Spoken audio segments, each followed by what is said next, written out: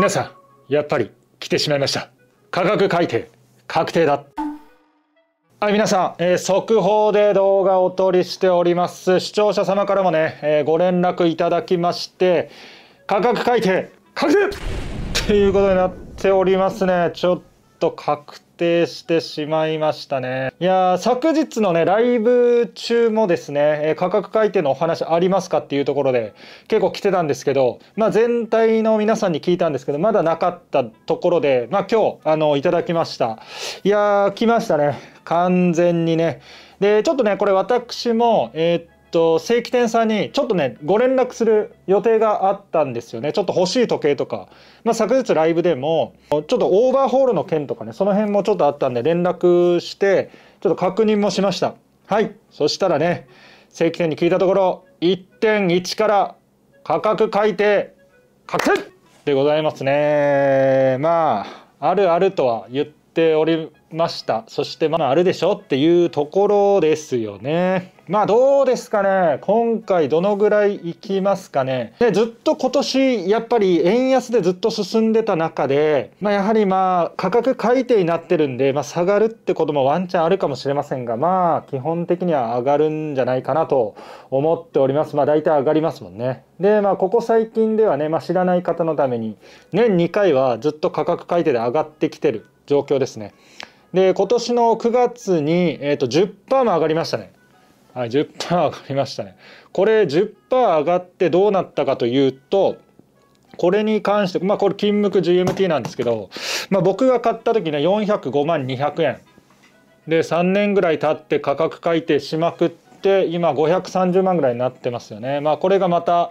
上がりますと。で10%はでかいですよね。ただ今回はないんじゃないかなと勝手に思ってるのは私だけでしょうか。あのまあこの年の中間のが結構上がるっていうのはずっと私も言ってるんですけれども。で年の前半は、まあ、上げ幅についてはそんなにないと。ただ分かんないですよね。今年1年はもう円安がずっと続いてきてる中でこのスイスとの物価差とか考えるとやっぱりねワンチャン、まあ、ライブでコメントもいただいたんですけれどもワンチャンスまたここで10%とかまあ5%とか結構いっちゃうのかなっていうところもなんか思ったりもするんですが、まあ、皆さんはどう思われますでしょうか？まあここら辺はねもう完全にもう予想の範囲でしかないんですけれどもまあそうやってみんなで予想してこうわちゃわちゃしていければなと思います。是非コメント欄でね教えていただければなと思いますね。で今回発表比較的早い感じありますね。今日がすいません。全然こちらの金目時間合わせてないんで。今日が18日ですね。早いっすね。前回とか結構もうギリギリだったような5日前6日前とかの印象がありましたがちょっとね発表も、えー、と今回は早かったというね、えー、ちょっと印象がありますね。さあどのぐらいね上がってくるのでしょうか。ちょっとこの辺はね、えー、見ていきたいなと思います。ちょっとねあの動画も撮ってるんですけれどちょっとまだアップできてないのがあるんですけど、まあ、その中も含めてちょっと予想していくんですけれども、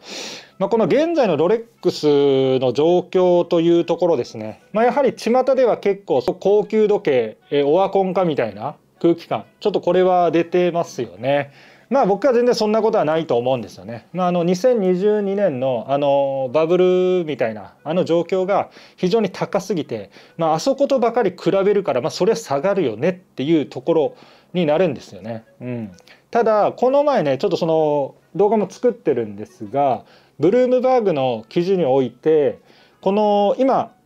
2022年をあの時ね大量に、まあ、需要が爆発したことによりもう生産も増産しまくって人もめっちゃ雇ってそしてなんなら価格もめっちゃ上げて言ったらね臨場値上げみたいなのもね結構やりまくってるっていう状況であるというね記事も見たんですよね。まあ、これはまあ詳しく後でやるんですけれども今ちょっとこの腕時計の売り上げがま若干落ちてきていると。ただこの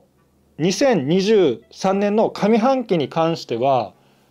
全然過去最高益でねずっと来てるんですよ。ただ後半からの減速とかもしているような、はい、そのような記事もあったんですけれども、まあ、これ一つの要因がやはり値上げというところもねあの指摘されていたんですよね。で一部のブランドではね今年の前半ぐらいにオーデマピケですかね値下げしてるんですよこれ値下げちょっとこれ私も知らなかったんですけれども値下げしてるっていうのが一部モデルで値下げしてるっていうのがありましたどうですかね。ロレックスはしないとは思うのですがもう本当ほんとちっちゃいあの可能性としては一部モデルの値下げとかももしかしたらあるんじゃないでしょうかね。まあ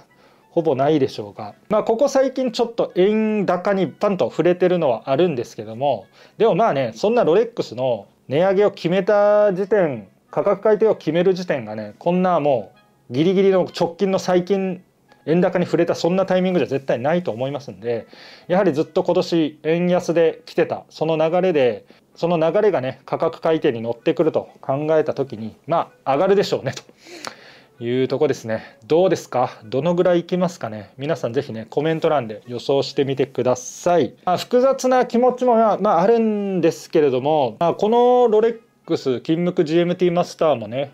言ったらまあその定価自体がガンガン上がるっていうのはまあちょっと嬉しいところもありますよね実際のところ。まあこれはライブしててもね、まあ、ちょっとコメントでもいただくんですけれどもやはり、えーと、自分の持ってる腕時計の価値これがまあどんどん上がっていくと、うん、いうのはまあ嬉しいので、まあ、ここで価格改定でパンって上がるのも若干嬉しいというねあの気持ちもありつつもやはり今後ロレックス沼にはまった方はねまたどんどん買っていきますからね。僕もまあ結構こんな風にあの買わせていただいてますけれどもちょっと抜けれないですね。うんこれを抜けるというのはなかなか厳しい。この沼は抜けれない、そういう中でやっぱりあの値上げしていくっていうのはやっぱきついとこはありますね。で日本の実質賃金ですね。その物価の上昇に対する給料の上昇ですね。やっぱここは結構言われるところで恐怖の18ヶ月かな。18ヶ月連続低下と減少ということですね。だから物価に給料の上昇が追いついてないという状況でございます。ちょっとこれまあ、詳しくはね別動画とかで調べていただきたいんですけれどもまあちょっと厳しい状況になってますよね。まあ、今年あれですからね日本の株価自体は世界最高の値上がりですからね。企業はバンバン儲けてるんですけれどもそれがちょっとねなかなかこの賃上げに上がってこないということはちょっと残念ですよね。もしね日本全体のこの給与がガンガンガンガン上がっていけばですねやはり実質的にロレックスも安くなるような形はありますので、まあ、ぜひねそっちも上がってきてほしいですよね。そうやって皆さんがガンガンロレックス買っていけばもしかすると私のチャンネル登録者さんもあと5万人増えるかもしれませんよね。はい、ということで、えー、価格改定、えー、決まっております。まあ、パーセンテージ等はね、また今後アナウンスされるでしょうからね。まあ、またそれが出ましたら、動画でもね、紹介していきたいなと思います。時計置き、無形文ントル、好評販売中、ダイレクトメッセージ、待ってます。くるくるとは言ってましたが、あやはり来ましたね。皆さんね。まあ、ここは、まあ仕方ないでしょう。ね。どうにかして、えー、給料上げていきましょう。まあ皆さんはね、もうそんなあの余裕しかないと思いますが、まあ僕の話ですね。はい。言うて、ロレックスは、まあ今が一番安いですね。はい。いつ買うの？今でしょっていうことになりますんで、もう言ってください。今ね、めちゃくちゃ出てますからね、ぜひ皆さん、昨日のライブ、こう見てください。ちょっと外、あの上出しときますんで、めちゃめちゃ買われてますから。マジで。しかもデイトナ中心に。まあ、あくまで僕がいただいた情報ですけれどもめちゃめちゃステンレスとかも出てますから、まあ、この流れでデイトナ200万超えちゃうかなっていうところになるんですけれどもここは仕方ないかもしれません。ちょっとこれは震えて待ちたいなと思います。1月1日価格改定。えー、あとですね私、えー、定価をただ読むというね動画これ、えー、大発明でね、えー、作っております。前回の、えー、価格ね、これが今生きてくるということですね。えー、今の定価よりも一つ価格改定前ですね10%前の価格をただひたすら値段を読んでるっていう動画。これもカード出しておきますので見てください。今回についてもちょっとこの価格をただ読むというね、えー、動画これ作らないといけないですね。はい。そんな感じで、えー、確定してますんで皆さん、まあ、残念なのかハッピーなのかこれは分かりませんが。まああるでしょう。うん、仕方ないでしょうというとこです。はい、今日はね、速報でお伝えしました。ぜひ皆さん、えー何か予想とか、あと今後、正規店さんでね、もしもう皆さんだったらもう店長さんクラス、むしろ店長さんも見てるかもしれませんので、まあ、価格のどのぐらいの上昇かっていうのはね、もう判明してるかもしれません。もし、えー分かれば、えーコメント欄で教えてください。皆さん、えーありがとうございました。とりあえず価格改定です。はい。えーまた、えー情報更新されましたら喋っていきますので、ぜひね、チャンネル登録、いいね、よろしくお願いします。はい。本日以上です。ご視聴ありがとうございました。めけめけ OK。ではまた。